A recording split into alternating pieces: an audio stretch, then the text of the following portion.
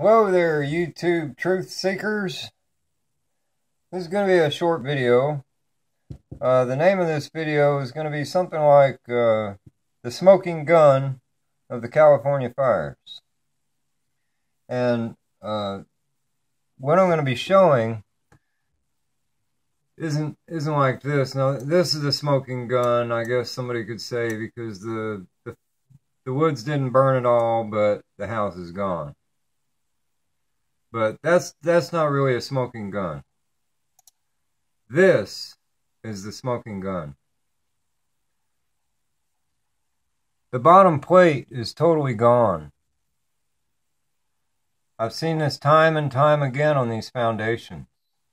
That is literally impossible in a normal fire. Now, I'm not even going to touch on the fact that all these nails, you'll see this time and time again too, the nails are stretched out straight. It doesn't really make sense, you know, unless you study the Hutchinson effect. But, you know, I'm not going to speculate what caused this necessarily.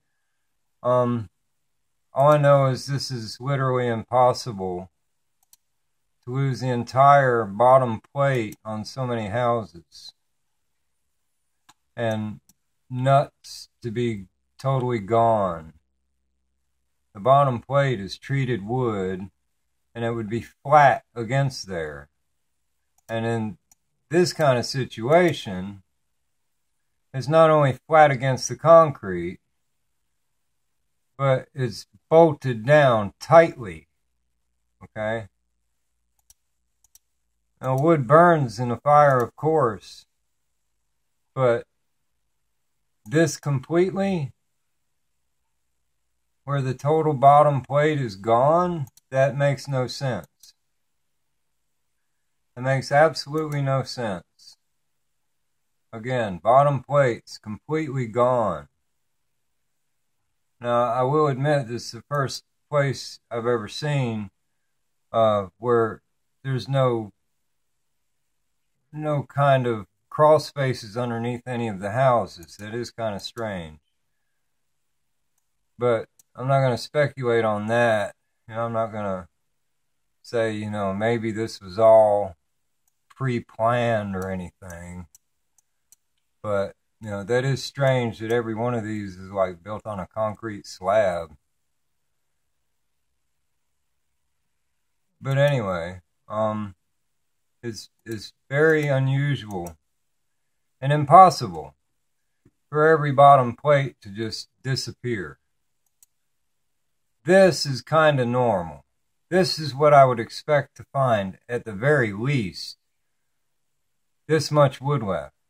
If you took bolts and put two pieces of treated wood together and threw them in a very hot fire, left them in there until the fire burned itself out, you would still find little pieces of charred wood with the bolts through it.